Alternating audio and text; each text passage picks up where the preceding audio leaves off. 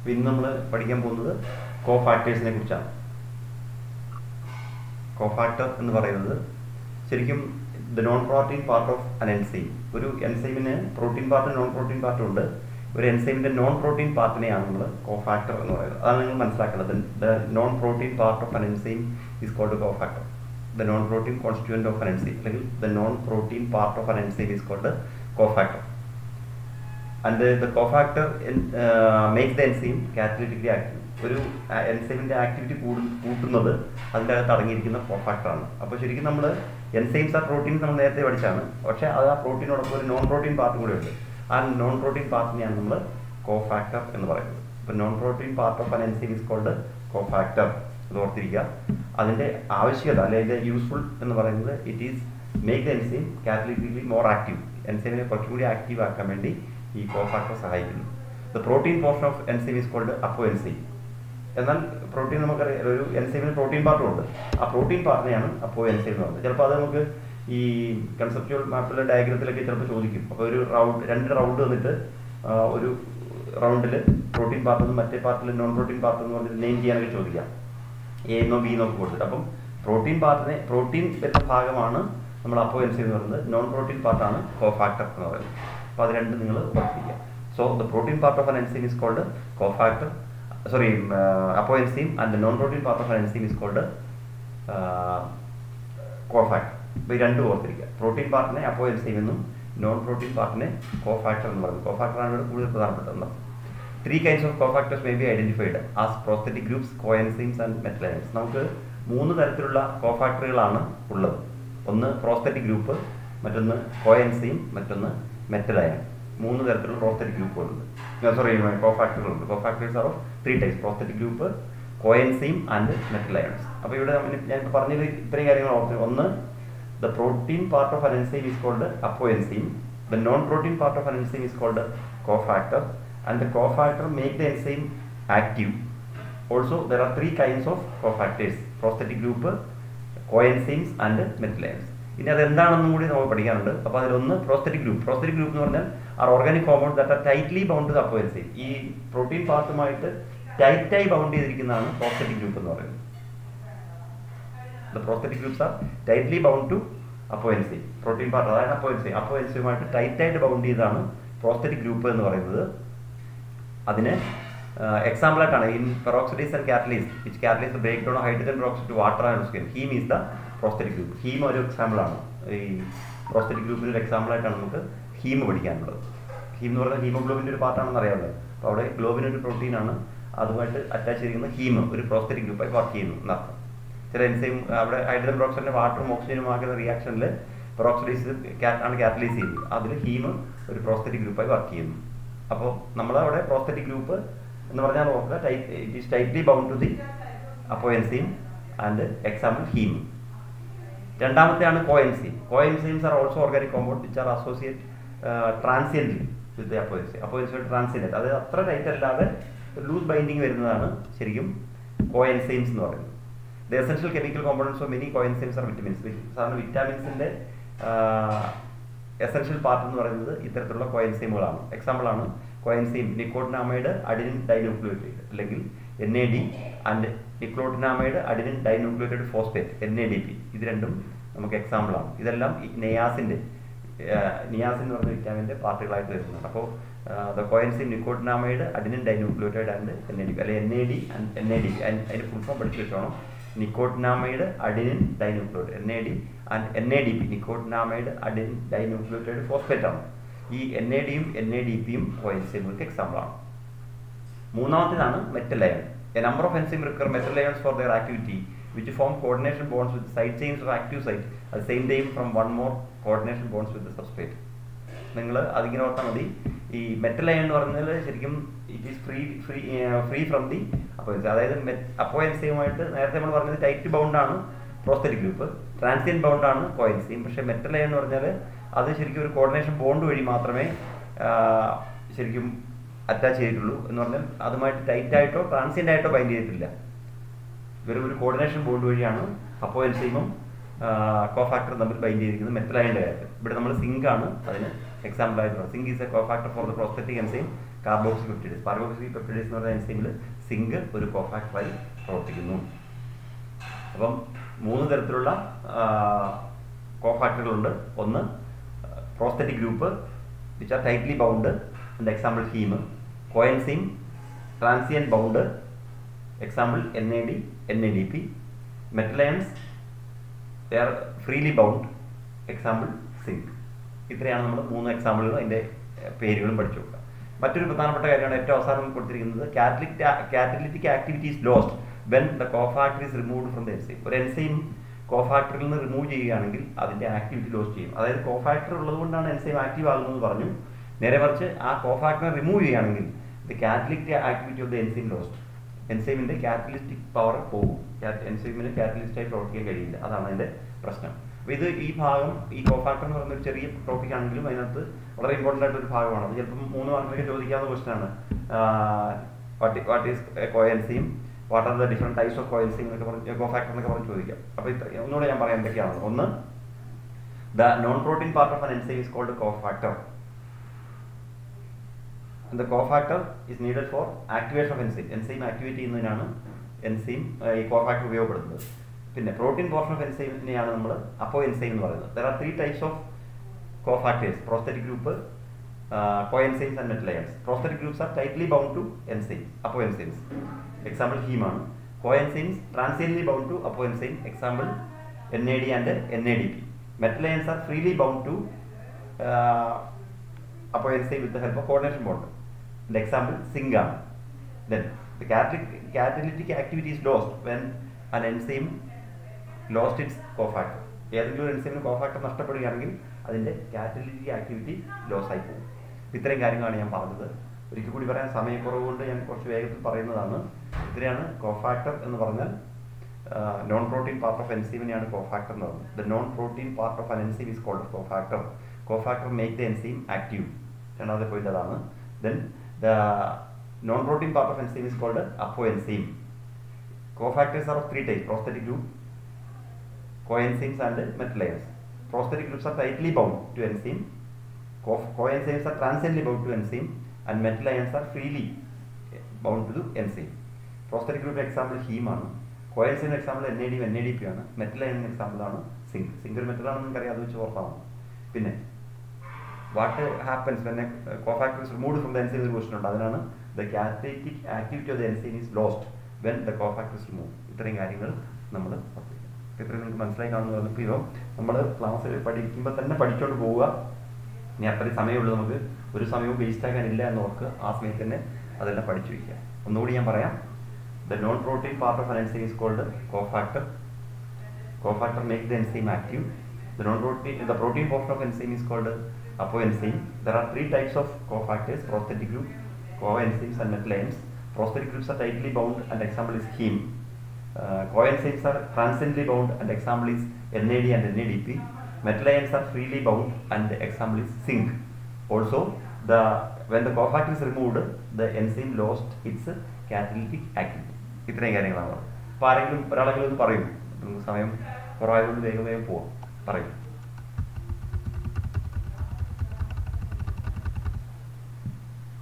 പറയൂടാ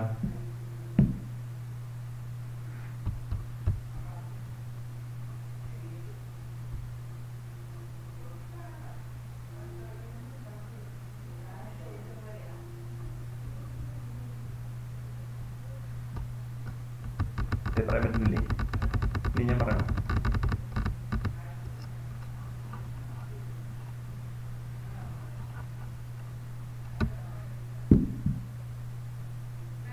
കൂടി ഞാൻ പറയാം അതായത് the non protein part of an enzyme is called cofactor the cofactor is making the enzyme active the protein portion of enzyme is അപ്പോ enzyme three types of cofactors prosthetic group, coenzymes, and metallians. Prosthetic groups are transiently bound, and example heme. Coenzyme, sorry, prosthetic groups is tightly bound and enzyme heme. Coenzymes transiently bound, and example NAD and NAD. Metallians freely bound with the coordination bonds, and example zinc. Also the catalytic activity is lost when the cofactor is removed from the enzyme ഇത്രയും കാര്യങ്ങളാണ് പറഞ്ഞത് പറയൂ ഒരാൾ.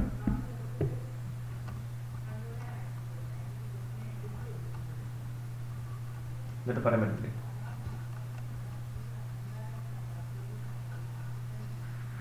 ആ പറയൂ please ആ പറഞ്ഞു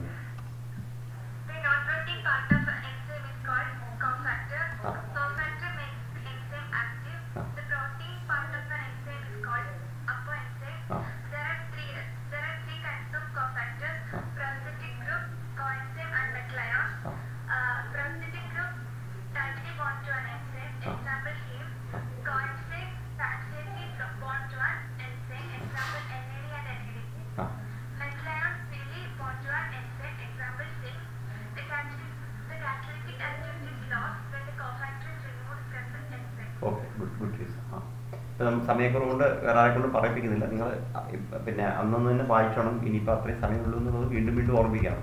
അപ്പോൾ നമ്മൾ അടുത്ത ചാപ്റ്ററിലേക്ക് പോവാണ്. ഡൈജഷൻ ആൻഡ് അബ്സോർഷൻ നമ്മൾ പകുതി ചാപ്റ്റർ പോലും ആയിട്ടില്ല. അതുകൊണ്ടാണ് ഞാൻ പറഞ്ഞത്. നേരത്തെ പഠിച്ചാണെങ്കിലും ഒരിക്കൽ കൂടി ഒന്ന് കടന്നു പോയാലേ നിങ്ങൾക്ക് ഒരു എളുപ്പം കിട്ടുള്ളൂ എന്നാണ് പറഞ്ഞത്. അപ്പോൾ ഡൈജഷൻ ആൻഡ് അബ്സോർഷൻ നമ്മൾ കുറച്ച് കാര്യങ്ങളേ ഉള്ളൂ. അതിൽ ഒന്ന് അലിമെന്ററി കനാലിന്റെ ഭാഗത്തു നിന്ന് നമുക്ക് പഠിക്കാനുള്ള ഇത്രയും കാര്യം ഒന്ന് ഹ്യൂമൻ ഡെൻഡീഷൻ നമ്മൾ അത് ക്ലാസ്സിൽ തന്നെ പഠിച്ചാണ് ഹ്യൂമൻ ഡെൻഡീഷൻ മൂന്ന് തരത്തിലാണ്. തീക്കോഡുണ്ട് ഡൈഫയോഡോണ്ട് ഹെട്രോഡോണ്ട് ഇങ്ങനെ മൂന്ന് തരത്തിലുള്ള ഡെൻഡിഷൻ ഉണ്ട്. തീക്കോഡോണ്ട് ഡൈഫയോഡോണ്ട് ആൻഡ് ഹെറ്ററോഡോണ്ട് അത് ഓരോന്നും എന്താണെന്നാണ് നമ്മൾ മനസ്സിലാക്കേണ്ടത്. ഒന്നാമത്തെ തീക്കോഡോണ്ടാണ് each tooth is embedded in socket of jawbone this type of attachment is called thecodont അപ്പോൾ തീക്കോഡോൺ എന്ന് പറഞ്ഞാൽ ഓരോ പല്ലുകളും അതിന് മോണയിൽ ഉറപ്പിച്ചിരിക്കുന്നു. The teeth are placed in socket of jawbone അതിനെ നമ്മൾ തീക്കോഡോൺ എന്നാണ് പറയുക. ഇനി human have two sets of teeth during their life a set of temporary milk or deciduous teeth replaced by a set of permanent for adult teeth this type of dentition is called diphyodont രണ്ട് പ്രാവശ്യം നമുക്ക് പല്ലുകൾ വരുന്നതുകൊണ്ടാണ് നമ്മളിതിനെ diphyodont എന്ന് പറയുന്നത്. So humans have two sets of teeth first milk teeth or deciduous teeth and second one permanent teeth this type of dentition is called diphyodont ഇനി മൂന്നാമത്തേത് an adult human has thirty two permanent teeth which are of four different types അതിനെയാണ് heterodont dentition എന്ന് പറയുന്നത്. അപ്പോൾ ഈ മൂന്ന് ടേമുകളാണ് നമ്മൾ ആദ്യം പഠിക്കേണ്ടത്. എന്താണ്? Thecodont diphyodont heterodont thecodont means the teeth are placed in socket jawbones ഇനി ഡൈഫൈഡോണ്ട് എന്ന് പറഞ്ഞാൽ humans have two sets of teeth will teeth and permanent teeth heterodont means we have different types of teeth ഇതാണ് മൂന്ന് തരം dentition തീക്കോഡോണ്ട് diphyodont heterodont അപ്പോൾ thecodont എന്ന് പറഞ്ഞാൽ the teeth are placed in socket jawbones which is called thecodont dentition diphyodont means humans have two sets of teeth milk teeth replaced by permanent teeth. Heterodont means we have four types of teeth ഏതൊക്കെയാണ്? Incisors canines premolars and molars ആ ചിത്രത്തിൽ നോക്കി അതിന്റെ position മനസ്സിലാക്കുക. എവിടെ നിന്ന് എങ്ങോട്ടാണ് വരുന്നത്? ചിലപ്പോൾ പരീക്ഷയ്ക്ക് ലേബർ ചെയ്യാനോ ചോദിച്ചാൽ ആ ചിത്രം തന്നിട്ട് നിങ്ങളുടെ പല്ലിന്റെ പേര് എഴുതാനൊക്കെ ചോദിച്ചാൽ അറിയണം. Incisor canine premolar and molar ചിത്രത്തിൽ കൊടുത്തിട്ടുണ്ട്. സോക്കറ്റിൽ ഉറപ്പിച്ചിരിക്കുന്നത് കാണിച്ചിട്ടുണ്ട്. Incisors canine premolars and molars എന്നിങ്ങനെ നാല് തരം പല്ലുകളാണ് നമുക്കുള്ളത്. ആ ക്രമത്തിൽ തന്നെ പഠിച്ചു നോക്കുക. Incisors canine premolar and molar അതാണ്. Arrangement of teeth in each half of the upper and lower jaw in the order ഒരു ഓർഡറിലാണ് എങ്ങനെയാണ് incisor canine premolar and molar ഈ represented by a dental formula which in human is two one two three by two one two three upper ജോയിലും lower ജോയിലും നമ്മുടെ പല്ലുകളുടെ ക്രമീകരണം to one two three ഒരു സൈഡിലേക്ക് എട്ട് പല്ലുകൾ വീതം. Two one two three by two one two three എന്ന രൂപത്തിലാണ്. അപ്പർ ജോയിലും എട്ട് പല്ലുകൾ ലോവർ ജോയിലും എട്ട് പല്ലുകൾ ഓരോ വശത്തും ഇരുവശത്തുമായി അങ്ങനെ ആകെ നമുക്ക് തേർട്ടി ടു ടീത്താണുള്ളത് അതാണ് നമ്മൾ ഹ്യൂമൻ ഡെന്റൽ ഫോർമുല ഇത് വളരെ പ്രധാനപ്പെട്ടാണ് human dental formula two one two three by two one two three അപ്പം മൂന്ന് കാര്യങ്ങളാണ് നമുക്ക് ഇതിനകത്ത് നാല് കാര്യങ്ങളാണ് പഠിക്കേണ്ടത്. ഒന്ന് ഡിഫറെന്റ് ടൈപ്സ് ഓഫ് ഡെന്റിഷൻ ഉണ്ട് ഡൈഫോയിഡുണ്ട് ഉണ്ട് അത് സിമ്പിളായിട്ട് നമുക്ക് പഠിക്കാവുന്നേ ഉള്ളൂ. തീക്കോഡുണ്ട് എന്ന് പറഞ്ഞാൽ ടീത്ത് ആർ ഇൻ ടീത്ത് മോ നമ്മുടെ മോണയിലെ ഉറപ്പിച്ചിരിക്കുന്നു. പല്ലുകളുടെ മോണയിലെ കുഴികളിൽ ഉറപ്പിച്ചിരിക്കുന്നു. അതിനെ നമ്മൾ തീക്കോഡുണ്ട് എന്ന് പറയുന്നു. ഡൈഫോയിഡ് എന്ന് പറഞ്ഞാൽ രണ്ട് തരം രണ്ട് സെറ്റ് പല്ലുകളുണ്ട്. ആദ്യം മിൽക്ക് തീത്തും പിന്നീട് പെർമനന്റ് ടീത്തും ഹെട്രോഡ് എന്ന് പറഞ്ഞാൽ പലതരത്തിലുള്ള പല്ലുകളുണ്ട് പലതരം. ഹെട്രോ എന്ന് പറഞ്ഞാൽ ഡിഫറെന്റ് ആണ്. പലതരത്തിലുള്ള പല്ലുകൾ ഇൻസിസർ കനൈൻ പ്രീമോളാർ മോളാർ എന്നിങ്ങനെ നാലുതരം പല്ലുകളുള്ളതിനെ ഹെട്രോഡോൺ എന്ന് പറയുന്നു. ഇനി മനുഷ്യന്റെ പല്ലുകളുടെ ആ ക്രമീകരണത്തിന് പറഞ്ഞ പേരാണ് ഡെന്റൽ ഫോമുല മനുഷ്യൻ ഡെന്റൽ ഫോമുല എന്ന് പറഞ്ഞാൽ two one two three by two one two three ആണ്. ഇത്രയും കാര്യങ്ങളാണ് നമ്മൾ ഒന്നാമതായിട്ട് ഓർത്തിക്കേണ്ടത് അപ്പം human dentition thecodont diphyodont heterodont thecodont means teeth are placed in socket jawbone diphyodont means we have two sets of teeth milk teeth and permanent teeth Heterodont means there are four different types of teeth, incisors, canines, premolars and molars. And human dental formula is 2123 by 2123. അപ്പോൾ ഇതിന്റെ ആ എണ്ണവും ആ ക്രമീകരണവും നിങ്ങളൊന്ന് മനസ്സിലാക്കി വെച്ചാൽ മതി ഇത് നിങ്ങളൊന്ന് പറയണം വേഗം വേഗം പറഞ്ഞ് പറഞ്ഞ് പോകാം so human dentine thecodont diphyodont and heterodont thecodont means teeth are placed in socket of jaw means means we have two sets of teeth male teeth replaced by permanent teeth heterodont there are four types of teeth incisors canine premolar molar. Even dental formula is 2123 by 2123 അവിടെ നിങ്ങൾ ഓർക്കണം to one two three എന്നൊക്കെ പറയുന്നത് to എന്ന് പറയുന്നത് incisor one എന്ന് പറയുന്നത് canine വീണ്ടും ടു എന്ന് പറയുന്നത് പ്രീമോളാർ മോളാർ ത്രീ എന്ന് പറയുന്നത് മോളാർ അപ്പോൾ ആ എണ്ണം ഓർത്തിരിക്കണം ചിലപ്പോൾ പരീക്ഷയ്ക്ക് അത് സെപ്പറേറ്റ് ആയിട്ട് എടുത്തൊക്കെ ചോദിച്ചാൽ എത്ര ഇൻസിസർ ഉണ്ട് എത്ര കനൈൻ ഉണ്ട് എത്ര പ്രീമോളാർ ഉണ്ടെന്നൊക്കെ ചോദിച്ചാൽ അങ്ങനെ എഴുതാനും കൂടെ അറിഞ്ഞിരിക്കണം. അപ്പോൾ അത് നമ്മൾ മനസ്സിലാക്കി വെച്ചാൽ മതി. അപ്പോൾ ആകെ നമുക്ക് തേർട്ടി ടു ഓർത്തിരിക്കാം ഒന്ന് പറയാൻ നോക്കെങ്കിൽ ആ പറയൂ ജലിപ്പ ശരിയായോ? ആ ഓ ആ ഓ പറയൂ. Human dentition is uh, decodon, uh, dicodon, Bifidal, uh, ah. heterodon. ആ Uh, uh, decodon, the teeth are placed in socket of jawbone. ആ Uh, dicodon, uh, humans have two sets of teeth, Ah.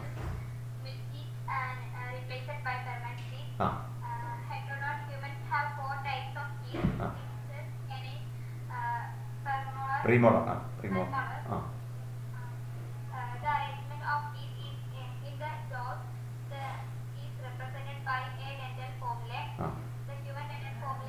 2123 by 2123.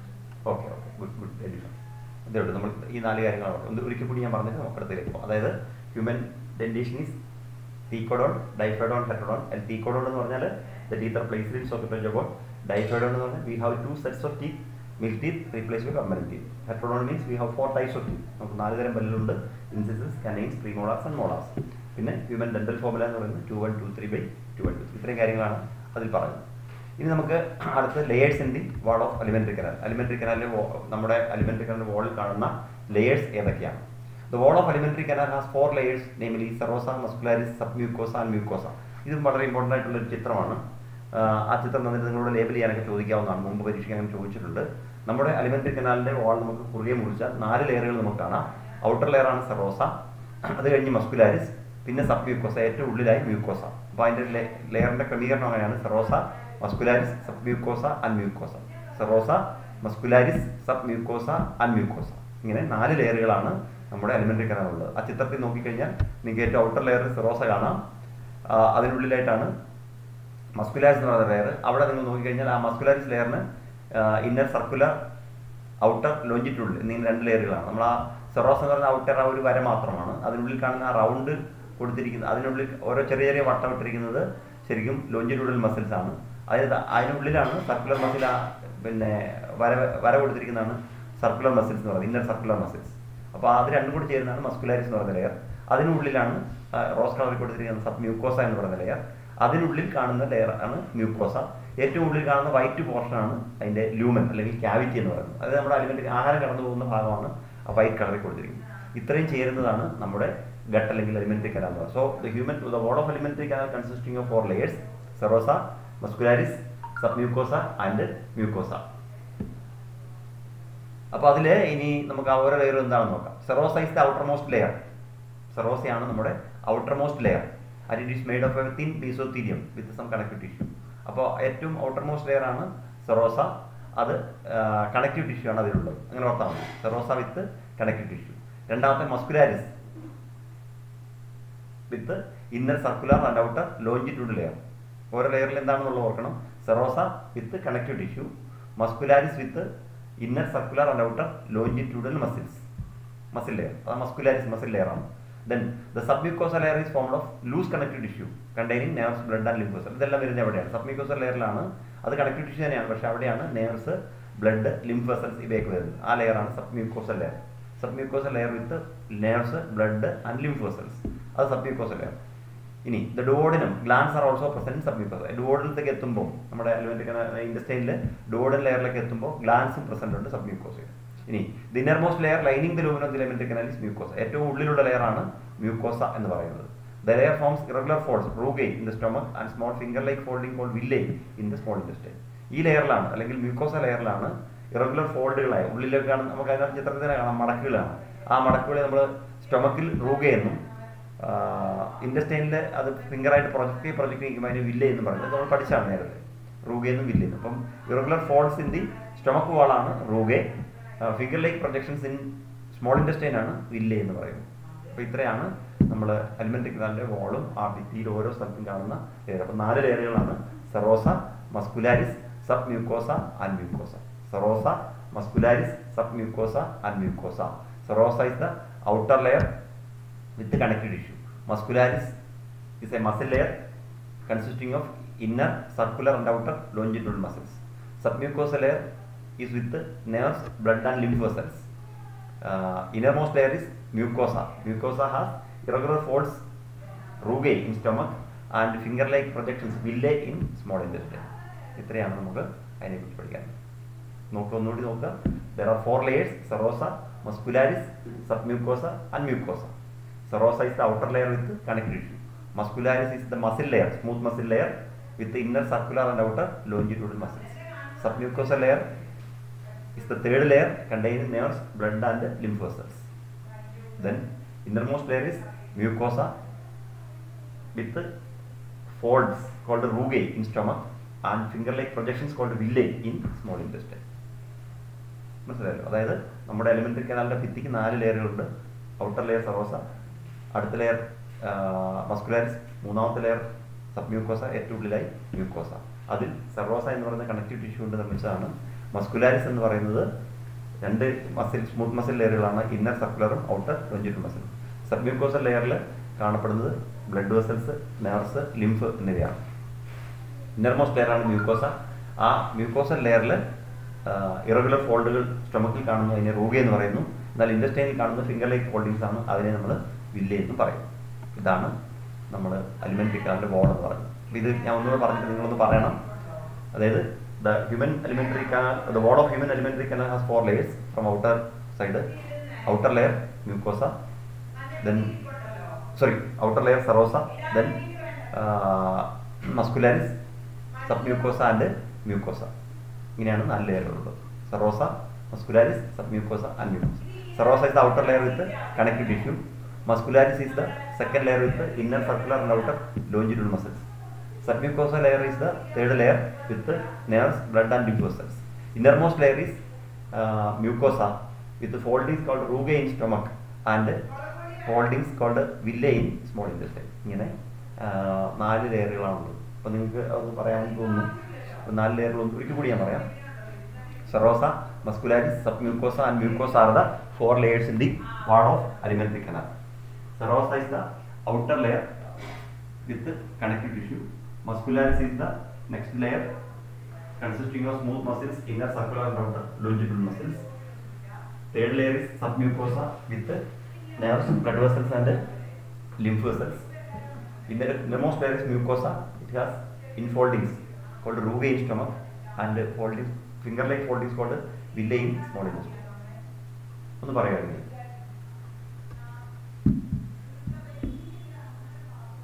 ആ പറയൂ കൃഷ്ണ പറഞ്ഞോളൂ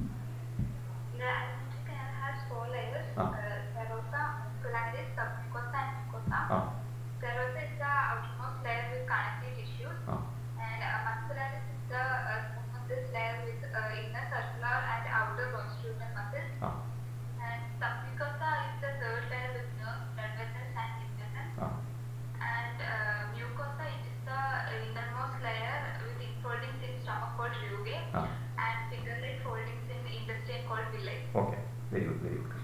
അപ്പോൾ ഇത്രയും നമുക്കത് പഠിക്കാനുള്ളൂ. അപ്പോൾ ഞാൻ ഈ പറയുന്ന സമയത്ത് ഈ പറയുന്ന അത്ര ചുരുക്കി നിങ്ങൾ പഠിച്ചാൽ മതി. ഇനിയിപ്പം നമുക്ക് അത്രയും ടൈം ഉള്ളൂ. അപ്പോൾ ആ ടൈംസ് പറയുന്ന ഭാഗങ്ങൾ നിങ്ങൾ നോട്ടിൽ മാർക്ക് ചെയ്യുക. നിങ്ങൾ ഏറ്റവും നല്ല ഞാൻ പറയുന്ന നോട്ടിൽ പ്രിന്റ് എടുത്ത് വെക്കുന്നത് നല്ലതാണ്.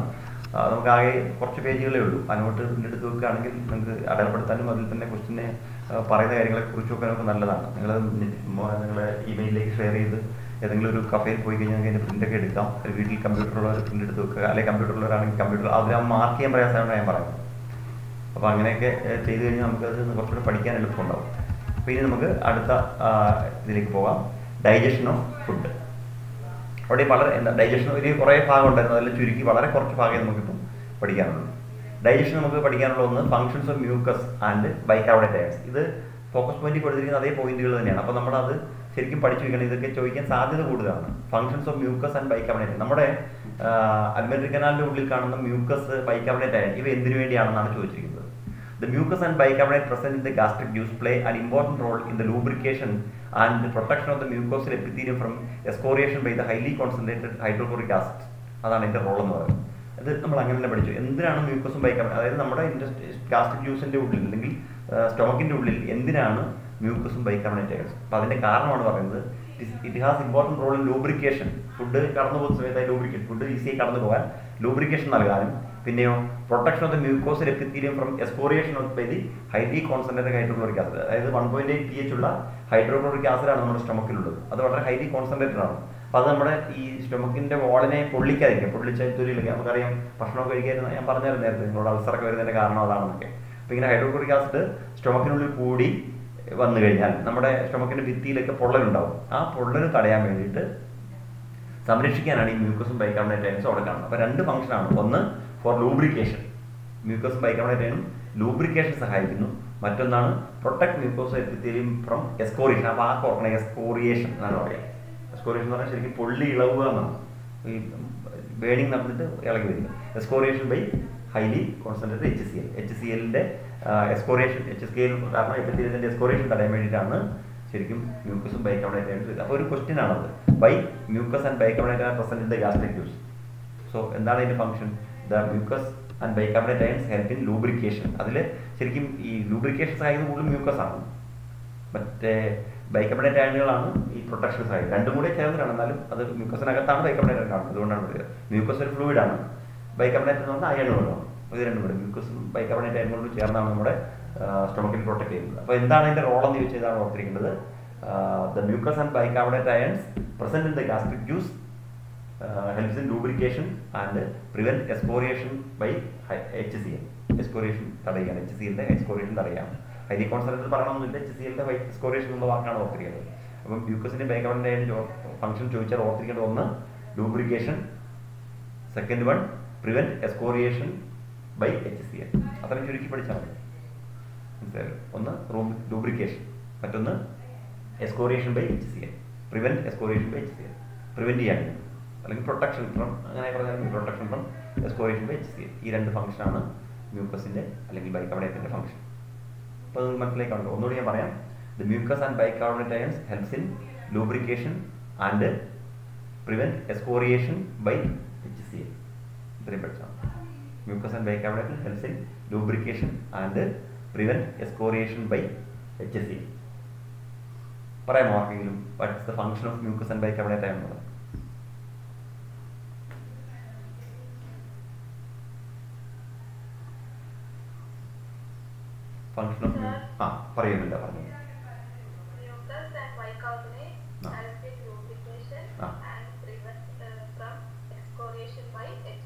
ഓക്കെ ഗുഡ് ഗുഡ് അത്രയും പഠിച്ചാൽ അത് രണ്ട് ചെറിയ പോയിന്റ് ഒന്ന് ലൂബ്രിക്കേഷൻ അത് നോക്കുക രണ്ടാമത്തെയാണ് prevent excoriation by H C L ഞാൻ ചുരുക്കി പഠിച്ചാൽ അപ്പോൾ നിങ്ങൾക്ക് വളരെ വേഗം പഠിക്കുകയും ചെയ്യാം. പോയിന്റ് പരീക്ഷയ്ക്ക് ഫുൾ മാർക്ക് കിട്ടും അതിന് പേടിക്കാൻ അതൊക്കെ അത്രയും അതിനകത്ത് പോയിന്റ് ഉള്ളൂ. നമ്മൾ വിശദീകരിച്ച് എഴുതുന്നതേ ഉള്ളൂ നോട്ടിലൊക്കെ നമ്മൾ പോയിന്റ്സ് പരീക്ഷയ്ക്ക് എഴുതുന്ന നിങ്ങൾ ആ പോയിന്റാണ് വരുന്നത്. അപ്പോൾ അവിടെ ഒന്ന് ലൂബ്രിക്കേഷൻ എന്ന വാക്കുണ്ടെങ്കിൽ അതിന്റെ മാർക്ക് കിട്ടും. മറ്റത് prevent excoriation by H C L അത്ര എഴുതിയാൽ മതി. അത് ഹൈലി കോൺസെൻട്രേഷൻ ഒക്കെ ഉള്ളത് അത്ര അവിടെ അണ്ടർസ്റ്റുഡ് ആണ്. ഇത്ര എഴുതുന്നവർ എന്തായാലും അത് പഠിച്ചിട്ടുണ്ടാവും എല്ലാവർക്കും അറിയാം. അതുകൊണ്ട് നിങ്ങൾ അങ്ങനെ പേടിക്കുക വേണ്ട.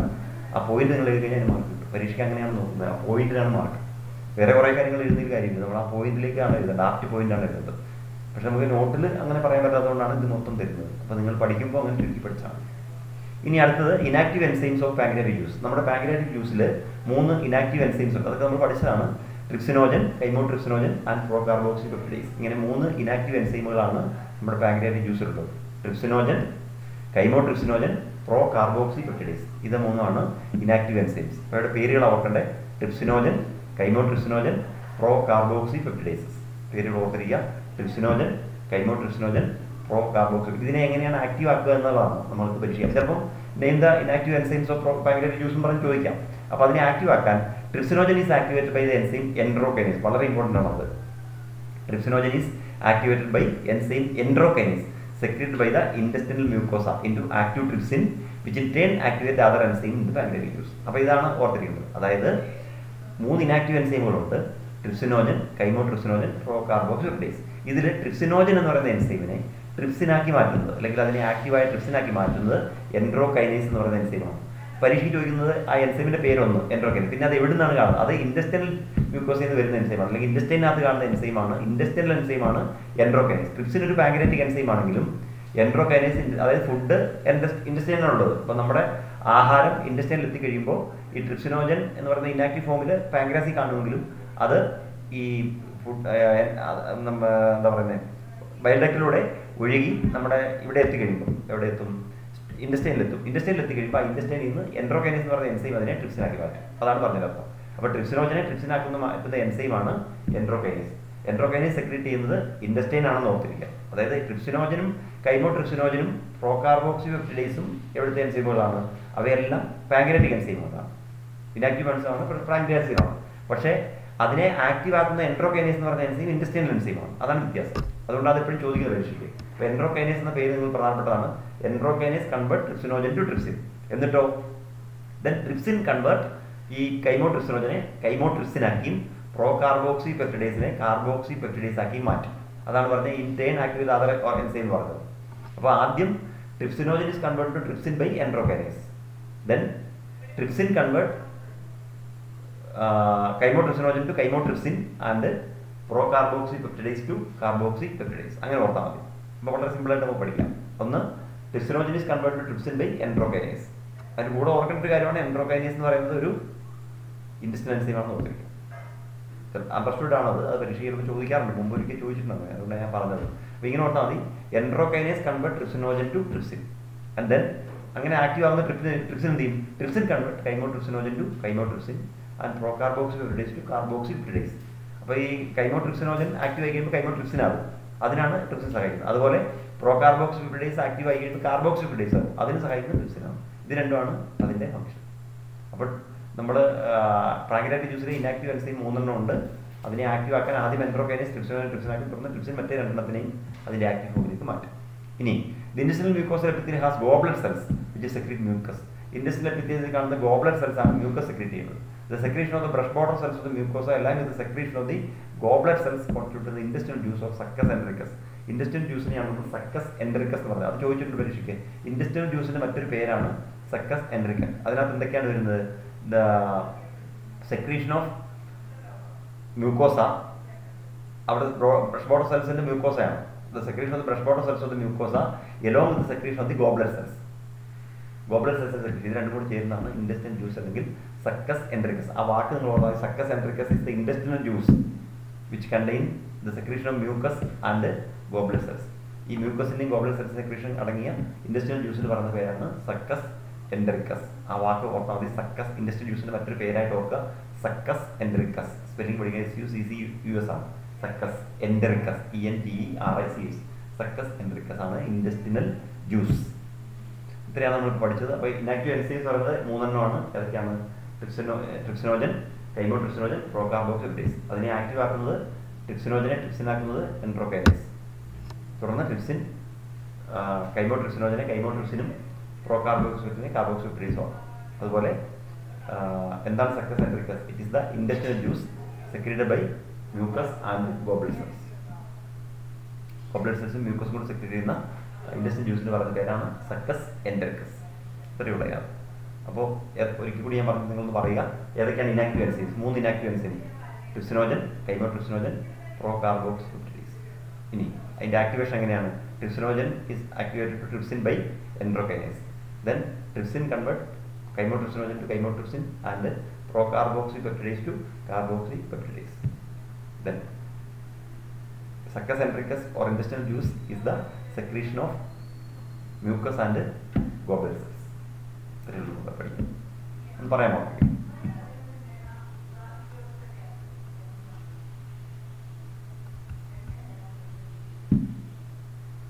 പറയണോ നോക്കി ഒരിക്കൽ കൂടി ഞാൻ പറയാം. നോക്കുക അതായത് three inactive enzymes are in present in pancreas trypsinogen chymotrypsinogen pro trypsinogen is trypsinogen is converted to trypsin by trypsin convert chymotrypsinogen to chymotrypsin pro carboxin to carboxin ഇവിടെ അതൊന്നും പറഞ്ഞിട്ടില്ലെങ്കിലും ഞാൻ പറഞ്ഞതാണ്. അങ്ങനെയാണ് പഠിക്കേണ്ടത്.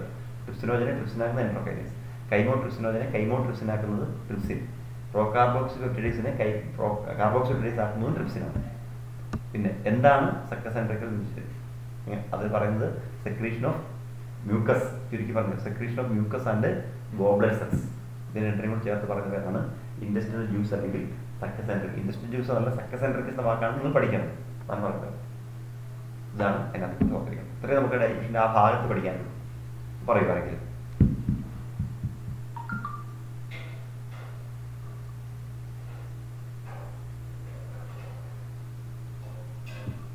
പറയണോ ആ പറഞ്ഞോളൂ The inactive enzymes are trypsinogen, Ah. chymotrypsinogen, Ah. and proca- procarboxypeptidases. ആ Trypsinogen is act- activated by enterogenase Ah. into trypsin. ആ Uh, trypsin activates uh, chymotrypsinogen to chymotrypsin Ah. and procarboxypeptidases into carboxypeptidases. Okay ആ Secretion of mucus Ah. and goblet cells constitute Ah. mucus enteric.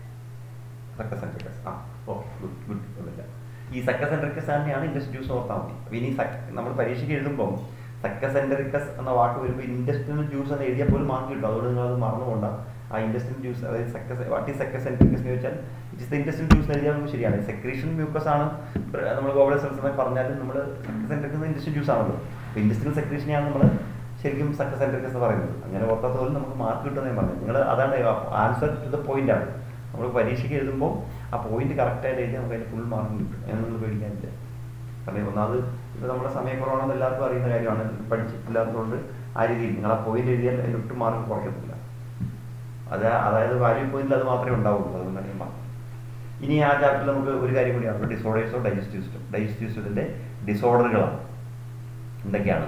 ഒന്ന് jaundice the liver is affected skin and eyes Stern yellow due to the deposit of bile bile pigment deposit ചെയ്യുന്നതുകൊണ്ട് നമ്മുടെ ലിവറിനെ affect ചെയ്യുന്ന ഒരു രോഗമാണ് jaundice അല്ലെങ്കിൽ മഞ്ഞപ്പിത്തം എന്ന് പറയുന്നത്. അപ്പോൾ അവിടെ നിങ്ങൾ ഈ രോഗങ്ങളെ കുറിച്ച് അത്രയൊക്കെ പഠിക്കാനുള്ളൂ. അത് ജോണ്ടിസ് അഫക്ട് ചെയ്യുന്ന ഓർഗൻ എന്ന് പറയുന്നത് ലിവർ ആണെന്ന് ഓർത്തിരിക്കുക. അതൊരു നമ്മൾ ഡൈജസ്റ്റീവ് ഡിസോർഡർ ആണെങ്കിലും it is affected the liver എന്താണ് കാരണം? ഡിപ്പോസിറ്റ് ബൈൽ പിഗ്മെന്റ്സ് ആണ്. അത് ഓർത്താം. അപ്പം ലിവറിനെ അഫക്ട് ചെയ്യുന്ന രോഗമാണ് ജോണ്ടിസ് എന്ന് ഓർത്തിരിക്കുക. ഞാൻ പറഞ്ഞ അപ്പം നിങ്ങൾക്ക് മനസ്സിലാക്കാണോ കാണും. അതായത് ഡൈജസ്റ്റീവ് സിസ്റ്റത്തിന്റെ രോഗമാണെങ്കിലും ജോണ്ടിസ് അഫക്ട് ചെയ്യുന്നത് ലിവറിനെയാണ് ഇനി vomiting it is the ejection of stomach contents through mouth നമുക്കറിയാം ഛർദിൽ എന്ന് പറയുന്നത് ejection of stomach contents through mouth reflex action is controlled by the vomit the medulla a feeling of nausea precedes vomiting അതായത് അതിനെ control vomit centre മെഡിലെ vomit centre ആണ് വൊമിറ്റിങ്ങിനെ control ചെയ്യുന്നത്. അതിനു മുമ്പായി നൗസിയ നൗസിയ എന്ന് പറഞ്ഞാൽ ഒക്കെ എനിക്ക് നമ്മൾ ഛർദ്ദിക്കാൻ തോന്നുക. അതിനെയാണ് നൗസിയ എന്ന് പറയുന്നത്. അതാണ് വൊമിറ്റിങ്ങിന് മുമ്പുണ്ടാകുന്നത് വൊമിറ്റിംഗ് ഒന്നും പരീക്ഷയ്ക്ക് വലിയ ഇമ്പോർട്ടന്റ് അല്ല. രണ്ട് ഡിസോർഡറുകളുടെ പേര് എഴുതാനൊക്കെ ചോദിച്ചാൽ നമുക്ക് അത് ഓർക്കാവുന്നേ ഉള്ളൂ. മറ്റൊന്ന് ഡയറിയാണ്. The abnormal frequency bowel movements and increase liquidity the faecal discharge ആണ് ഡയറിയ ഡയറിയ എന്ന് പറഞ്ഞാൽ വയറിളക്കമാണ് വയറിളക്കത്തിൽ സംഭവിക്കുന്നത് നമുക്കറിയാമല്ലോ. എന്താണ്? അബ്നോർമൽ ഫ്രീക്വൻസി ബോവൽ മൂവ്മെന്റ് നമ്മുടെ ബോവലിന്റെ മൂവ്മെന്റ് കൂടുന്നു. അതിന്റെ പരമായി ഫീക്കൽ ഡിസ്ചാർജ് ലിക്വിഡിറ്റി കൂടും മലം ലൂസായിട്ട് പോകുന്നു. അതിനെയാണ് ഡയറിയ എന്ന് പറയുന്നത്. ഇറ്റ് റെഡ്യൂസ് അബ്സോർഷൻ ഫുഡ് പിന്നെ അവിടെയൊക്കെ ഡയറിയെ കുറിച്ചൊക്കെ നമ്മൾ ഓർത്തിരിക്കേണ്ടത് ചിലപ്പം ഈ ഡയറിയ എന്ന് പറയുന്നതിനെ കുറിച്ച് ചോദിക്കാൻ സാധ്യതയുള്ള ക്വസ്റ്റ്യൻ എന്ന് പറയുന്നത് the abnormal frequency bowel movement and increase liquid faecal discharge is known as എന്നുള്ള രീതിയിൽ നമുക്ക് ചിലപ്പോൾ ചോദിക്കാം. വൺ മാർക്കിനൊക്കെ ചോദിക്കാൻ പറ്റും അതേപോലെ അതിനകത്ത് ഡിസോർഡർ ചോദിക്കാനുള്ളൂ എന്താണ് ഡയറിയ എന്ന് ചോദിക്കില്ല മറ്റൊന്ന് കോൺസ്റ്റിപ്പേഷൻ ആണ്. In കോൺസ്റ്റിപ്പേഷന്റെ faeces retain within the colon as the bowel movements of irregular irregular bowel movement ആണ് കോൺസ്റ്റിപ്പേഷൻ അല്ലെങ്കിൽ മലബന്ധം എന്ന് പറയുന്നത്. പോകാത്ത അവസ്ഥയാണ് നമ്മൾ കോൺസ്റ്റിപ്പേഷൻ എന്ന് പറയുന്നത്. മറ്റൊന്ന് indigestion in this condition the food is not properly digested leading a feeling of fullness ആഹാരം ശരിക്കും ദഹിക്കാത്തത് കൊണ്ട് നമുക്ക് എപ്പോഴും വയറ് നിറഞ്ഞേ തോന്നും. The cause of indigestions are inadequate enzyme secretion anxiety food poisoning overeating and spicy food നമ്മൾ കഴിക്കുന്ന ആഹാരത്തിൽ ചിലപ്പം നമുക്ക് എന്തെങ്കിലും ആകാംക്ഷ ഉണ്ടെങ്കിലോ എൻസൈം സെക്രീഷൻ ഇറഗുലർ ആകുന്നതുകൊണ്ടോ ഫുഡ് പോയിസണിങ് വരുമ്പോഴോ കൂടുതൽ ആഹാരം കഴിക്കുന്നതുകൊണ്ടോ സ്പൈസി ഫുഡ് കഴിക്കുന്നതൊക്കെ കൊണ്ടുണ്ടാകുന്ന ഒരു പ്രശ്നമാണ് ഇൻഡൈജഷൻ എന്ന് പറയുന്നത്. അപ്പം ഇങ്ങനെ നമുക്ക് ഇവിടെ രണ്ട് അഞ്ച് ഡിസീസ് തന്നിട്ടുണ്ട്. അപ്പോൾ നിങ്ങൾ ചെയ്യേണ്ടതെന്ന് വെച്ചാൽ പരീക്ഷയ്ക്ക് ചിലപ്പം നെയിം ടു ഡിസോർഡേഴ്സ് ഡൈജസ്റ്റ് എന്ന് വെച്ചാൽ ഇതിലേതെങ്കിലും അതിന്റെ പേരൊക്കെ എഴുതാനാണ് പഠിക്കുന്നത് അപ്പോൾ നമുക്ക് എളുപ്പത്തിൽ ഓർമ്മിക്കാൻ പറ്റുന്ന ജോണ്ടിസ് നിങ്ങൾ അപ്പോഴും കേൾക്കുന്നതാണ്. വൊമിറ്റിംഗ് അറിയുന്നതാണ് ഡയറിയ കോൺസ്റ്റിപ്പേഷൻ ഡൈജഷൻ ഒന്നും വലിയ പ്രയാസമുള്ളതല്ല. മലയാളത്തിലാണെങ്കിലും എഴുതി വെക്കാൻ നമുക്ക് ഛർദിൽ ദഹനക്കേട് മലബന്ധം വയറിളക്കം മഞ്ഞപ്പിപ്പം ഇതെല്ലാം നമ്മൾ അറിയുന്ന നമ്മൾ സാധാരണ കോമണായി കേൾക്കുന്ന രോഗങ്ങളാണ്. രോഗങ്ങളുടെ പേരാണ് എഴുതുന്നത് ഡിസോർഡേഴ്സ് ഡൈസിസ്റ്റ് എന്ന് പറയുമ്പോൾ ഏതെങ്കിലും രണ്ട് രോഗങ്ങളുടെ പേര് എഴുതിയത്. അത്രയേ ഉള്ളൂ നമുക്ക് അതിനെക്കുറിച്ച് പഠിക്കാം. അപ്പോൾ അത് ഇപ്പോൾ നിങ്ങൾ പറയണമെന്നില്ല കാരണം അത് ഓർത്തിരുന്നാൽ മതി. അതിനകത്ത് അധികം പഠിക്കാൻ കൂടുതലില്ലാത്തതുകൊണ്ട് ഞാൻ പറയേണ്ടതെന്ന്. പഠിക്കേണ്ടതല്ല പഠിക്കണം. ജോണ്ടിസ് ലിവറിനെ എഫക്റ്റ് ചെയ്യുന്ന ഓർമ്മിക്കുക പിന്നെ ഡയറിയിൽ പറഞ്ഞില്ല ഫുൾ ഫില്ലപ്പ് ചോദിക്കാം പിന്നെ ഈ ഒരു ലാസ്റ്റിന്റെ ലാസ്റ്റ് സെൻസ് എന്താണ് indigestion dash is due to inadequate enzyme secretion anxiety food poisoning overeating spicy food ഇതൊക്കെ കഴിക്കുമ്പോൾ ഉണ്ടാകുന്ന രോഗം ഏതാണെന്ന് ഇൻഡൈജഷൻ ഇതിന് സാധ്യത വളരെ കുറവാണ്. അങ്ങനത്തെ ചോദ്യങ്ങൾ ദഹനക്കേടൊക്കെ മലയാളത്തിൽ എഴുതിയാൽ അതൊന്നും പ്രശ്നമില്ല. നമുക്ക് സമയം കുറവുകൊണ്ട് അല്പം കൂടി പഠിക്കാൻ എനിക്ക് തോന്നുന്നു. എളുപ്പത്തിലുള്ള കുറച്ച് കാര്യങ്ങൾ പറയാം. നമ്മൾ അടുത്തത് breathing and exchange of gases ആണ്. അതായത് നമ്മുടെ എന്താ പറയുക നമ്മുടെ ശ്വസന വ്യവസ്ഥയെ കുറിച്ചാണ് നമ്മൾ ചെറുതായിട്ട് പഠിക്കുന്നത്. അതിൽ ഇമ്പോർട്ടന്റ് ആയിട്ടുള്ള കാര്യങ്ങളാണ് നമ്മൾ ഓർത്തിരിക്കേണ്ടത് ഇപ്പോൾ ആദ്യം പറയുന്നത് ഹ്യൂമൻ റെസ്പിറേറ്ററി ഇത്രയും പഠിക്കാൻ നമ്മൾ പറഞ്ഞിരിക്കുന്നത്. The chambers opens into pharynx, a portion of which is the common passage for food and air. The pharynx opens through the larynx region into the trachea. ഇതൊന്നും നമുക്ക് പരി- പരീക്ഷയ്ക്ക് ചോദിക്കുന്ന ക്വസ്റ്റ്യൻസ് ഒന്നും അവിടെ ഇല്ല. എങ്കിലും ഒന്നുകൂടെ പറയാം. അതായത് നമുക്കറിയാം നമ്മുടെ മൂക്കിന്റെ ദ്വാരങ്ങൾ ഓപ്പൺ ചെയ്ത് ഫാരിങ്സിലേക്കാണ് അവിടെ ഫുഡും എയറും ഒന്നിച്ച് കടന്നു പോകുന്നു. അതിൽ the pharynx open through larynx region ഇത് ട്രക്കിയ ഫാരിങ്സ് ലാരിങ്സ് വഴിയാണ് ട്രക്കിയിലേക്ക് ഓപ്പൺ ചെയ്യുന്നത്. Larynx is a cartilaginous box which helps in sound production and helps called the sound box അത് ഓർക്കണം. ലാരിങ്സ് ആണ് നമ്മൾ സൗണ്ട് ബോക്സ് എന്ന് പറയും. It is a cartilaginous box it helps sound production and helps called sound box ഇനി during swallowing in glottis be be with an elastic cartilage flap flap epiglottis to prevent the entry of the അതും പഠിക്കേണ്ടതാണ്. During swallowing നമ്മൾ ഭക്ഷണം വിഴുങ്ങുമ്പോൾ glottis എന്ന് പറയുന്നത് നമ്മുടെ ആ opening ആ food കടന്നു പോകുന്ന ഓപ്പണിംഗിന് ഗ്ലോട്ടിസ് ആണ്. It can be covered by a cartilaginous flap called epiglottis ആ ഗ്ലോട്ടിസ് എപ്പിഗ്ലോട്ടിസ് എന്ന വാക്കുകളാണ് നമ്മൾ പഠിക്കേണ്ടത്. അതിന്റെ കാരണം എന്താണ്? Prevent the entry of food in the larynx ഈ വോയിസ് ബോക്സിന്റെ ഉള്ളിലേക്ക് ആഹാര സാധനങ്ങൾ കടയാ കടക്കാതെ തടയുന്നത് എപ്പിഗ്ലോട്ടിസ് ആണ്. എപ്പിഗ്ലോട്ടിസ് എന്ന് പറയുന്നത് ഗ്ലോട്ടിസിന്റെ അടപ്പാണ്. ഗ്ലോട്ടിസ് എന്ന് പറയുന്ന കുഴി അതിന്റെ അടപ്പിനെയാണ് നമ്മൾ ഒരു ഫ്ലാപ്പ് എന്ന് പറയുന്നത്. കാർഡിനൽ ഫ്ലാപ്പ് അതിനെയാണ് എപ്പിഗ്ലോട്ടിസ് പറയുന്നത്. Epiglottis prevent entry of food into the larynx അത് ചിലപ്പോൾ ഒരു വൺ മാർക്ക് ചോദിക്കുന്നതാണ് name the structure which prevent entry of food into the larynx ലാരിങ്സിലേക്ക് ഫുഡിന്റെ എൻട്രി തടയുന്ന സ്ട്രക്ചറിന്റെ പേരെന്താണ്? എപ്പിഗ്ലോട്ടിസ് എന്നാണ് നിങ്ങൾ പറയുക. വൺ മാർക്കിനൊക്കെ ഇങ്ങനത്തെ എളുപ്പമുള്ളവർക്ക് ചോദിക്കും. അപ്പോൾ ഓർക്കണം എപ്പിഗ്ലോട്ടിസ്. ഗ്ലോട്ടിസിന്റെ അടപ്പാണ് എപ്പിഗ്ലോട്ടിസ് അങ്ങനെ ഗ്ലോട്ടിസ് തന്നിട്ട് എപ്പിഗ്ലോട്ടിസ് എഴുതാനല്ല ചോദിക്കുക.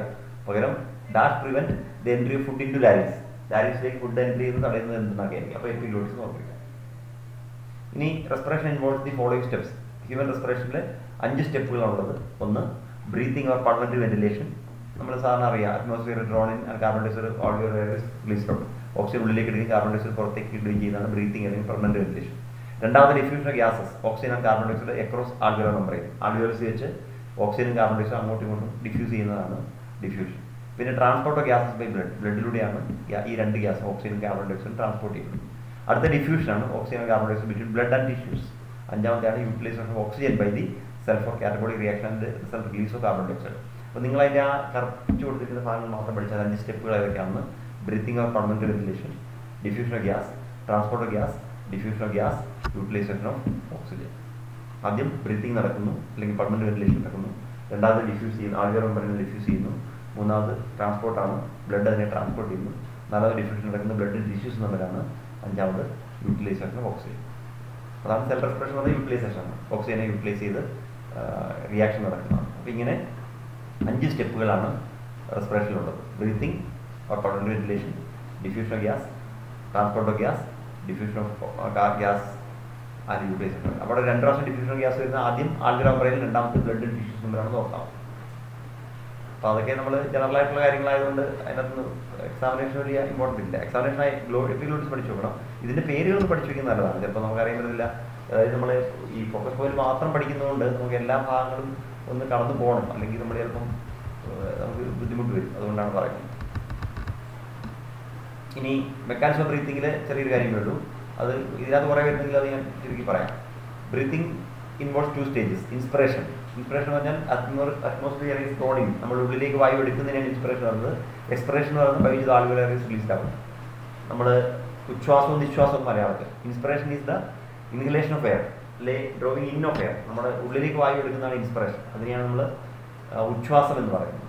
ഇനി expiration is the releasing out of air അതായത് നമ്മളതിനെ വിശ്വാസം നമ്മൾ പുറത്തേക്ക് വായു വിശ്വാസം വിടുമ്പോൾ പുറത്തേക്ക് വായു പോകുന്നതാണ് എക്സ്പിറേഷൻ ഉള്ളിലേക്ക് വായു എടുക്കുന്നതാണ് ഇൻസ്പിറേഷൻ അപ്പോൾ ബ്രീത്തിങ്ങിന് രണ്ട് സ്റ്റെപ്പ് ഉണ്ട് ഇൻസ്പിറേഷനും expiration inspiration is the drawing in of air and expiration is the drawing out of air ഇങ്ങനെ ഓർത്താൽ മതി. Inspiration is the taking in of air and expiration is the releasing of air ഇനി ഇവിടെ വളരെ പ്രധാനപ്പെട്ട ഒരു point നമ്മൾ പറയുന്നത് inspiration can occur if the pressure within the lungs for intrapulmonary pressure is less than atmosphere നമുക്ക് inspiration കഴിയണമെങ്കിൽ അല്ലെങ്കിൽ നമുക്ക് ലങ്സിനുള്ളിലേക്ക് വായു എടുക്കാൻ കഴിയണമെങ്കിൽ നമ്മുടെ ലങ്സിനുള്ളിലുള്ള പ്രഷർ അന്തരീക്ഷത്തിലുള്ള പ്രഷറിനേക്കാൾ കുറവായിരിക്കണം. അതായത് എപ്പോഴും ഹൈ പ്രഷറിൽ ലോ പ്രഷറിലേക്ക് മാത്രമേ ഗ്യാസ് ഡിഫ്യൂസ് ചെയ്യുള്ളൂ എന്നുള്ളതുകൊണ്ട് അന്തരീക്ഷത്തിലെ എയറിന്റെ പ്രഷർ നമ്മുടെ ലങ്സിലുള്ള പ്രഷറിനേക്കാൾ കുറവാണെങ്കിൽ മാത്രം കൂടുതലാണെങ്കിൽ മാത്രമേ അറ്റ്മോസ്ഫിയറിൽ നിന്ന് ഉള്ളിലേക്ക് എന്ന് പറഞ്ഞാൽ അതിന്റെ അർത്ഥം എന്താണ്? ഓക്സിജന്റെ പ്രഷർ ഓക്സിജന്റെ കോൺസെൻട്രേഷൻ നമ്മുടെ ശരീരത്തിലുള്ളതിനേക്കാൾ കൂടുതലായിരിക്കും പുറത്ത്. അതുകൊണ്ടാണ് നമ്മൾ ഓക്സിജൻ ഉള്ളിലേക്ക് എടുക്കുന്നത്. കാർബൺ ഡയോക്സൈഡ് ശരീരത്തിലാണ് കൂടുതൽ പ്രഷർ ഉള്ളത് അതുകൊണ്ട് കാർബൺ ഡയോക്സൈഡ് പുറത്തേക്ക് വരുന്നു. ഇത് ഓർത്താൽ മതി. നമ്മൾ എന്താണ് ഉള്ളിലേക്ക് എടുക്കുന്നത്? ഓക്സിജൻ ഓക്സിജൻ കാർബൺ ഡയോക്സൈഡ് ഉണ്ടാവും. പക്ഷേ കൂടുതൽ എടുക്കുന്നത് ഓക്സിജനെയാണ് കാരണം ഓക്സിജന്റെ അറ്റ്മോസ്ഫിയറിലെ പ്രഷർ ശരീരത്തിലുള്ള ഓക്സിജന്റെ പ്രഷറിനേക്കാൾ കുറവാണ്. സോറി പറഞ്ഞു ആ, അന്തരീക്ഷത്തിലെ ഓക്സിജന്റെ പ്രഷർ ശരീരത്തിലുള്ള ഓക്സിജന്റെ പ്രഷറിനേക്കാൾ കുറവാണ്. അപ്പോൾ അന്തരീക്ഷത്തിലാണ് എപ്പോഴും ഓക്സിജന്റെ പ്രഷർ കൂടുതലുള്ളത്. അതുകൊണ്ട് എന്ത് ചെയ്യും? അന്തരീക്ഷത്തിലെ ഓക്സിജൻ ശരീരത്തിനുള്ളിൽ ലങ്സിലേക്ക് കടക്കും. അന്തരീക്ഷത്തിലെ ഓക്സിജന്റെ പ്രഷർ ലങ്സിലുള്ള ഓക്സിജന്റെ പ്രഷറിനേക്കാൾ കൂടുതലായതിനാൽ അന്തരീക്ഷത്തിൽ നിന്ന് ലങ്സിലേക്ക് ഓക്സിജൻ കടക്കണം കാർബൺ ഡയോക്സൈഡിന്റെ കാര്യം വരുമ്പോൾ നേരെ തിരിച്ചാണ്. കാർബൺ ഡയോക്സൈഡിന്റെ പ്രഷർ ശരീരത്തിൽ കൂടുതലും അന്തരീക്ഷത്തിൽ കുറവുമാണ്. അതുകൊണ്ട് ശരീരത്തിൽ നിന്ന് കാർബൺ ഡയോക്സൈഡ് പുറത്തേക്ക് വരുന്നത് ഇത്ര ഇതാണ് അതിന്റെ ബേസിക് ആയിട്ടുള്ള കാര്യം പറയുന്നത്. അപ്പോൾ അവിടെ പറഞ്ഞിരിക്കുന്നത് ഇൻസ്പിറേഷൻ അപ്പോൾ നടക്കുന്നത് എപ്പോഴാണ്? When the intrapulmonary pressure is less than atmosphere pressure expression takes place when the intrapulmonary pressure is higher than atmosphere pressure intrapulmonary pressure കുറവായിരിക്കുമ്പോൾ inspiration നടക്കും ഇൻട്രാപൾമണറി പ്രഷർ ഹയർ ആയിരിക്കുമ്പോൾ എക്സ്പിറേഷൻ പറയും. അതാണ് പറയുന്നത് അതായത് ഇൻട്രാ ഇൻട്രാപൾമണറി പ്രഷർ അറ്റ്മോസ്ഫിയർ പ്രഷറിനേക്കാൾ കുറവാണെങ്കിൽ inspiration നടക്കുന്നു. Intra intrapulmonary pressure intra intrapulmonary pressure പറഞ്ഞാൽ ലങ്സിനകത്തെ പ്രഷർ എന്ന് മാത്രമേ ഉള്ളൂ. ലങ്സിനകത്തെ പ്രഷർ അറ്റ്മോസ്ഫിയർ പ്രഷറിനേക്കാൾ കൂടുതലാണെങ്കിൽ എക്സ്പ്രഷൻ ആണ് നടക്കുന്നത്. ഇതാണ് രണ്ടും കൂടെ വ്യത്യാസം. ഇനി അതെങ്ങനെയാണ് നടക്കുന്നത് കൂടി ഒരു മെക്കാനിസം പറയുന്നത് the diaphragm and specially set of muscles external and intercostal muscles between the ribs helps in generation of ഈ ഡയഫ്രവും എക്സ്റ്റേണൽ ആൻഡ് ഇന്റേണൽ ഇന്റർകോസ്റ്റൽ മസിൽസും കൂടി ചേർന്നാണ് ഇതിന് സഹായിക്കുന്നത് നിങ്ങൾ പഠിക്കേണ്ട പാർട്ട് അതൊക്കെയാണ്. ഡയഫ്രം ആൻഡ് ഇന്റർകോസ്റ്റൽ മസിൽസ് അത് രണ്ടുതരം ഉണ്ട്. External and internal intercostal muscles diaphragm and intercostal muscles external and internal intercostal muscle helps in inspiration expression ഈ ഇൻസ്പിറേഷൻ എക്സ്പ്രഷൻ സഹായിക്കുന്നവയാണ് എന്തൊക്കെയാണ്? ഒന്ന് ഡയഫ്രം മറ്റൊന്ന് external and internal intercostal muscles ആ ടൈം നിങ്ങളൊന്ന് നോട്ട് ചെയ്ത് വെക്കുക. Diaphragm and internal and external intercostal muscles helps in inspiration and expression inspiration expression സഹായിക്കുന്നത് ഡയഫ്രവും എക്സ്റ്റേണൽ ആൻഡ് ഇന്റേണൽ ഇന്റർകോസ്റ്റൽ മസിൽസും ആണ്. മൂന്ന് മൂന്ന് പാർട്ട് രണ്ടെണ്ണേ ഉള്ളൂ ശരിക്കും. ഇന്റർകോസ്റ്റൽ മസിൽ രണ്ട് തരത്തിലുള്ളതേ ഉള്ളൂ. അപ്പോൾ ഒന്ന് ഡയഫ്രം മറ്റൊന്ന് എക്സ്റ്റേണൽ ഇന്റർകോസ്റ്റൽ മസിൽ മറ്റൊന്ന് ഇന്റേണൽ ഇന്റർകോസ്റ്റൽ മസിൽസ് അങ്ങനെ വേണമെങ്കിൽ മൂന്നായിട്ട് പഠിച്ചാലും കുഴപ്പമില്ല. അതാണ് മെക്കാനിസം കൺട്രോൾ ചെയ്യുന്നത്. ഇനി എങ്ങനെയാണ്? Inspiration is initiate by the contraction of diaphragm which increases the volume of thoracic chamber in the anteroposterior axis inspiration തുടങ്ങുന്നത് എങ്ങനെയാണ്? Contraction of diaphragm diaphragm contract ചെയ്യുന്നു. അതിന്റെ ഫലമായി തൊറാസിക് ചേംബർ വികസിക്കുന്നു. തൊറാസിക് ചേംബറിന്റെ വോളിയം കൂടുന്നു. എങ്ങനെ? ആന്റീരിയോ പോസ്റ്റീരിയർ ആക്സിസ് അതായത് മുകളിൽ താഴേക്ക് കൂടുന്നു.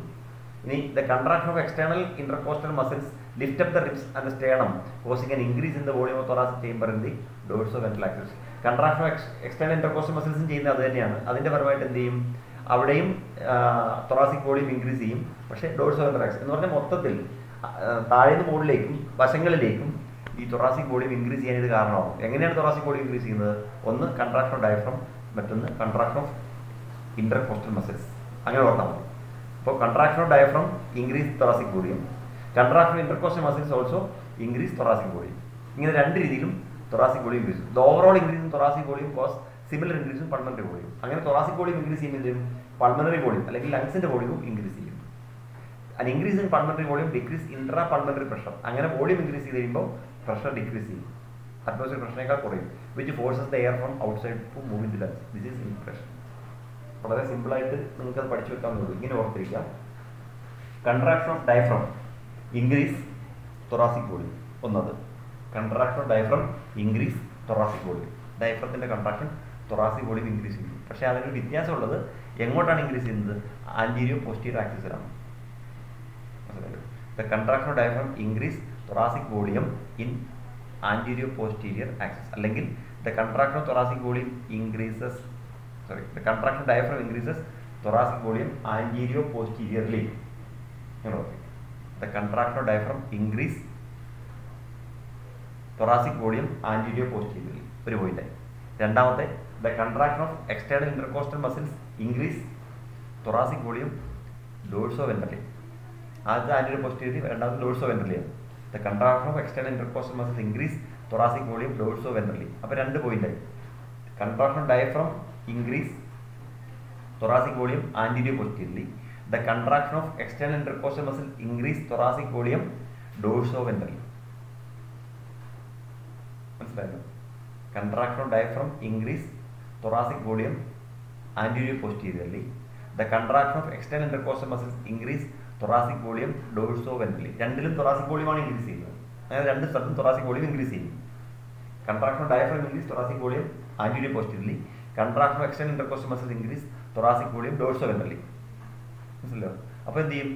Thoracic volume increases pulmonary volume decreases thoracic volume increase sorry thoracic volume increase pulmonary volume increase pulmonary pressure decreases ചുരുക്കി പറയുന്നതാണ് നമുക്ക് എളുപ്പം കുറേ സ്റ്റെപ്പ് പറയുന്നത് ചിലപ്പം ഇത് വരുന്നതുകൊണ്ട് ഞങ്ങൾ ചുരുക്കി പറയും ഇൻക്രീസ് ഇൻ തൊറാസിക് വോളിയം വേണേ അവിടെ ഇൻക്രീസ് പൾമണറി വോളിയം പറയാം. അത് അങ്ങനെ പറഞ്ഞിരിക്കുന്നുണ്ട്. അല്ലെങ്കിൽ ഇങ്ങനെ പറഞ്ഞാൽ മതി.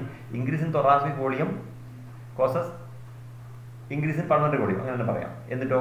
When pulmonary volume increases pulmonary pressure decrease volume increase ചെയ്യുമ്പോൾ പ്രഷർ ഡിക്രീസ് ചെയ്യും. സോ എയർ ഫ്രം അറ്റ്മോസ്ഫിയർ എന്റെ രണ്ടു ലങ്സ് അതാണ് ഇൻസ്പിറേഷൻ ഒന്നുകൂടി പറയാം. അതായത് when diaphragm contracts thoracic volume increase anterior cost when external intercostal muscles contract thoracic volume increases dorso N when thoracic volume increases pulmonary volume also increases when pulmonary volume increase pulmon intrapulmonary pressure decreases. This leads to rushing in of air from atmosphere to lungs that is inspiration. ഇതിന്റെ ഫലമായി അറ്റ്മോസ്ഫിയറിൽ നിന്ന് air ഉള്ളിലേക്ക് വരുന്നു. അതിനെയാണ് നമ്മൾ inspiration എന്ന് പറയുന്നത്. ഒന്നുകൂടി നോക്കുക പോയിന്റ്സ് ഒന്ന് contract of diaphragm increases thoracic volume anteroposterior contraction of external intercostal muscles increase thoracic volume dorsoventrally. When thoracic volume increases, pulmonary volume also increases. When pulmonary volume increases, pressure decreases. So, atmospheric air rush into the lungs. That is inspiration. അല്ലെങ്കിൽ move in to the lungs അങ്ങനെ പറഞ്ഞാൽ മതി അതിനെയാണ് inspiration പറയുന്നത് അതാണ് നമ്മളുടെ mechanism എന്ന് പറയുന്നത് ഇത്രയേ ഉള്ളൂ അതായത് ഒന്ന് contraction of diaphragm it increase anterior posterior. Contraction of inter external intercostal muscles increase thoracic volume dorsoventrally. When thoracic volume increases, pulmonary volume also increases. When pulmonary volume increases, intrapulmonary pressure decreases. So air from atmosphere rush into the lungs അല്ലെങ്കിൽ move into the lungs. It is called inspiration. ഇങ്ങനെയാണ് inspiration നടക്കുന്നത് അപ്പോൾ breathing in of എയറിനെയാണ് inspiration നടക്കാനുള്ള കാരണമാണ് ഒന്ന് contraction of diaphragm അത് anterior പോസ്റ്റീരിയറിൽ ഡയഫ്രം അതിന്റെ വോളിയം തൊറാസിക് വോളിയം കൂടുന്നു പിന്നെ ഇന്റർകോസ്റ്റൽ മസിൽ കോൺട്രാക്ട് ചെയ്യുമ്പോൾ തൊറാസിക് വോളിയം ഡോഴ്സോവെൻട്രലിയും കൂടുന്നു. തൊറാസിക് വോളിയം അങ്ങനെ കൂടി കഴിയുമ്പോൾ പൾമണറി വോളിയം കൂടും. പൾമണറി വോളിയം കൂടുമ്പോൾ പൾമണറി പ്രഷർ കുറയും. പ്രഷർ കുറഞ്ഞു കഴിയുമ്പോൾ അറ്റ്മോസ്ഫിയറിൽ നിന്ന് എയർ ഉള്ളിലേക്ക് വരും. ഇത്രയാണ് ഇൻസ്പിറേഷൻ നടക്കുന്നത് ഇനി അതങ്ങനെ നിൽക്കട്ടെ.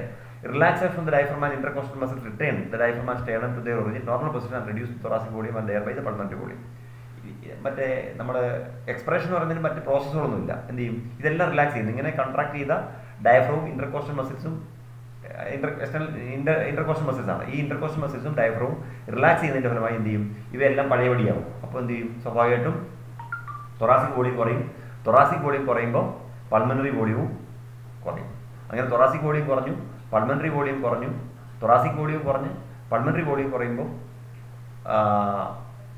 എന്ത് സംഭവിക്കും? പൾമനറി പ്രഷർ കൂടും. പൾമനറി പ്രഷർ കൂടുമ്പോൾ സ്വാഭാവികമായിട്ടും അറ്റ്മോസ്ഫിയറിനേക്കാൾ കൂടുതലാണ്. അപ്പോൾ പ്രഷർ വായുവിന് പുറത്തേക്ക് തള്ളും. അതാണ് എക്സ്പിറേഷൻ എന്ന് പറയുന്നത്. അപ്പോൾ അതിൽ ഈ എക്സ്പിറേഷൻ വലിയ പ്രാധാന്യമില്ല? ഇൻസ്പിറേഷൻ ആണ് പ്രധാനപ്പെട്ടത്. അത് ഓർത്താൽ മതി.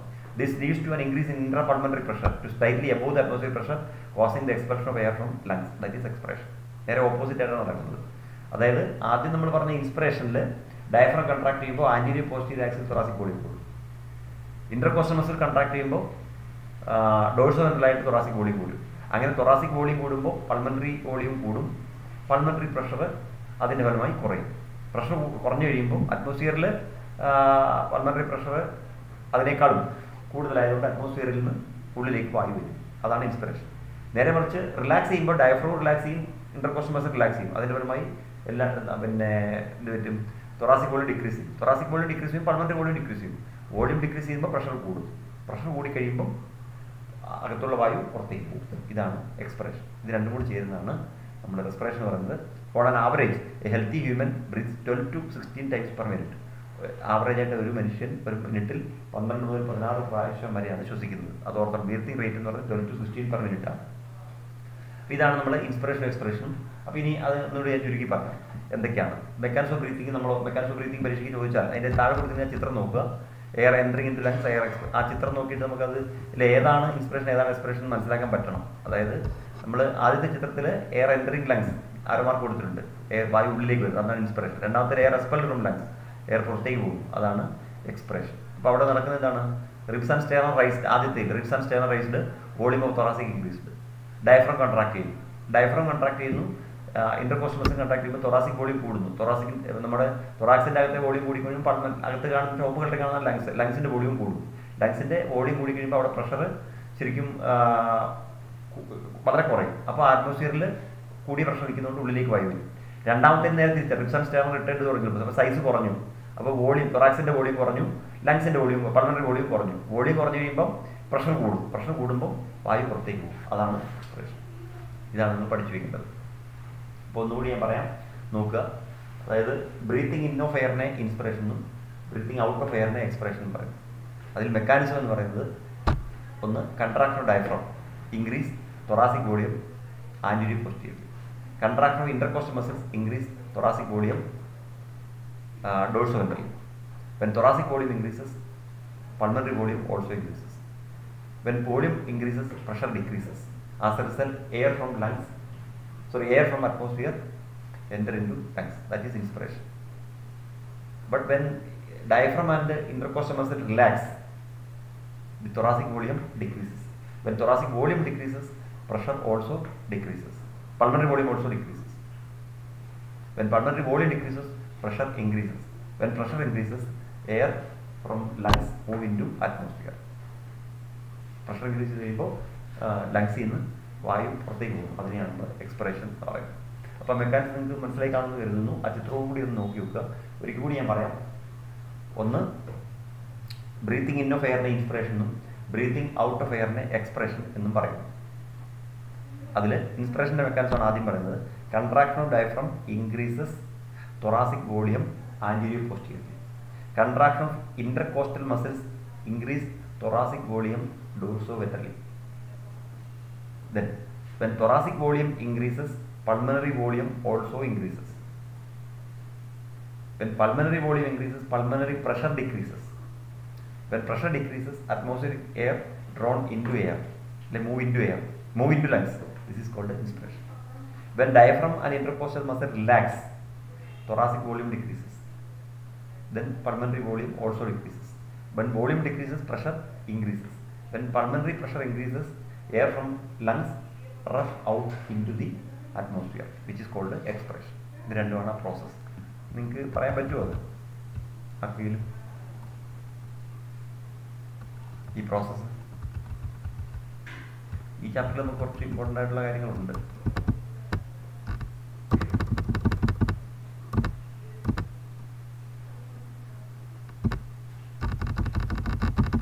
പറയാൻ പറ്റുമോ? Inspiration expression mechanism